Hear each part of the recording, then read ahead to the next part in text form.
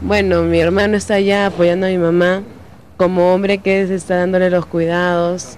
Él tiene ideas acerca de medicina, por eso también se quedó allá.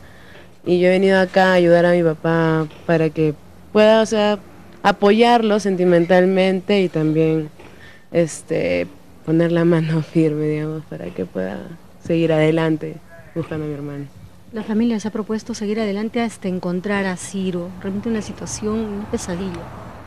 Sí, realmente a veces eh, cuando uno despierta piensa que es una pesadilla o piensa ya hoy día termina y a veces sigue el día y cuando llega la noche, bueno, allá en Lima, en mi casa, mi mamá dice, es otro día más que mi hijo no está con nosotros, que cuando ella come se da cuenta de, yo estoy comiendo y mi hijo qué está comiendo, ella se abriga y se rompe en llanto, mi mamá, la verdad. O sea, mi papá, no sé, mi papá a veces ya me dice, mira mamita, le dice mi mamá, acá hace un frío tremendo y cómo estará nuestro hijo.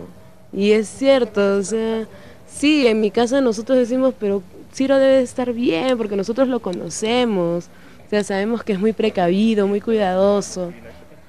Y, pero a pesar de eso igual, o sea, el clima a veces está en contra, o sea, hay ciertos factores que juegan en contra y eso nos hace pensar que puede estar un poco débil, sin energías.